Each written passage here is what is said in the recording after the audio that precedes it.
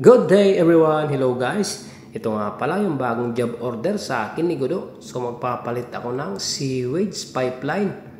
As you can see guys, talagang bulok na siya.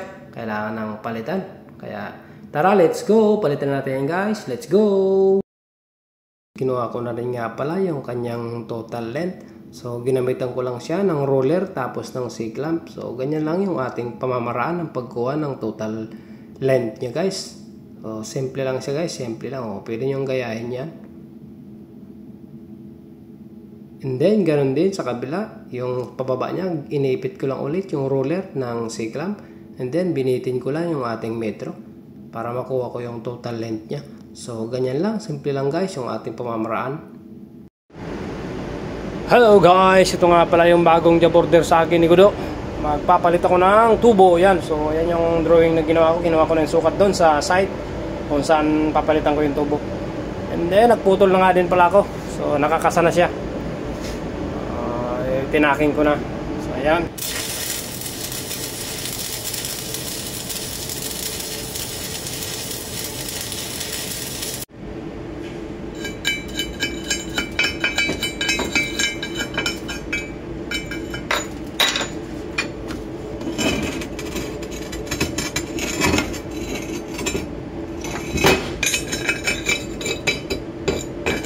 uh, napulweld ko na yung isang side then ito namang isa.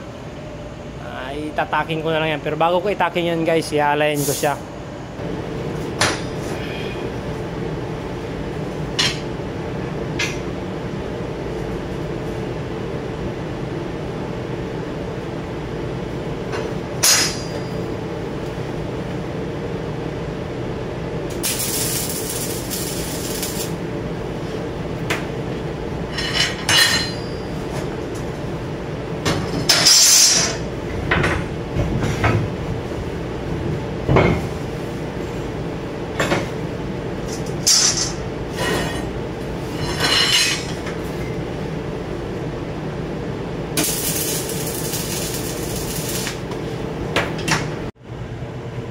So bale yan, uh, nailagay ko na siya sa tripod. Ang gagawin ko na lang dyan ay magpupulweld ako nun sa dugtungan tapos uh, ilalapat ko na yung plans to plans. So basic na lang yan guys, basic na lang yan, napakadali na lang yan, hindi na sobrang hirap na. Kasi meron na tayong sukat niya, may distance na tayo. May mga sukat na may ano na tayo dyan. Kaya hindi tayo maliligaw. So yan, sa mga baguhan na lang yan yung mga veterano dyan, hindi nyo na kailangan to eh. Basic na lang to sa inyo. Sa mga baguhan na lang to, ituturo ko ulit kung paano i-align yung plans to plans para may mga dagdag kaalaman yan. Sa mga baguhan lang to guys, sa mga baguhan. So tara, let's go! So ayan, nalagyan ko na, na nga pala ng marker yan. So ayan, nakalain na siya. So wala na, finish na yan. Kwarta na yan guys, wala na, dali na. Hindi mo lang pinagpawisan. So hanggang doon sa kabila. Yan. May marker na rin yan. So, naka-center na yan. Spot na lang yan. Deadpool weld. Dali na guys. Dali na. Kwarta na. So, ito nga palang video na to ay para lang to sa mga baguhan na Peter. Hindi ito para sa mga veterano. Tatawanan tayo nito. Pag nakita to ng mga veterano guys. Kasi iba yung pamamaraan natin ng pag-layout ng tubo. Pag-pit up.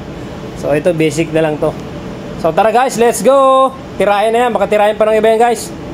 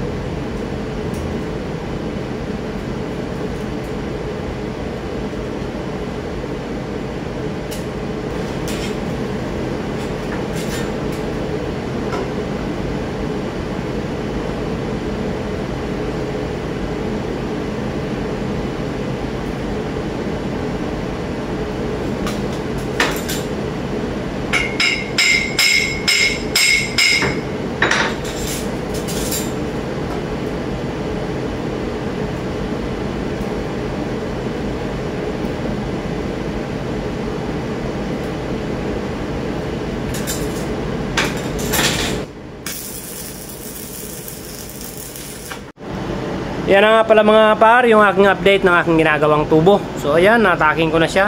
Then naka-align na yan. Nakuha ko na rin yung kanya, kanyang uh, final distance. Tapos yung mga angle niya. So wala na, full weld na yan guys. Ganun lang, kasimple. Uh, mag-fit up ng tubo.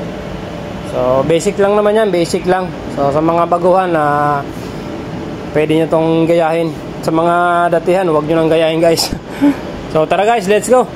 Weldingin na natin yan.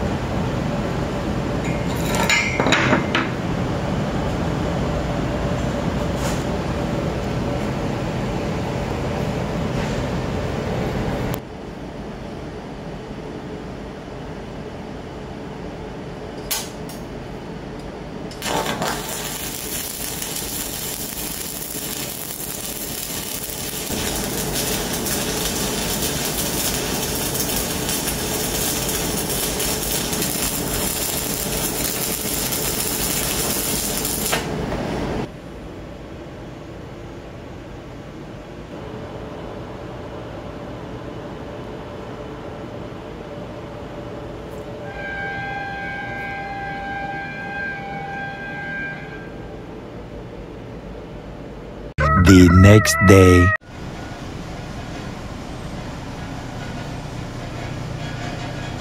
Two hours later. Hi guys! Ito na pala yung update ng ating ginawang tubo. So ayan, na-install na namin. As you can see. Yan. So ibig sabihin yung ating pamamaraan na pag-pit up, eh, tama pa rin. Kahit na iba yung discard natin sa pag-pit up, uh, tama pa rin siya. Wala siyang problema, walang naging issue.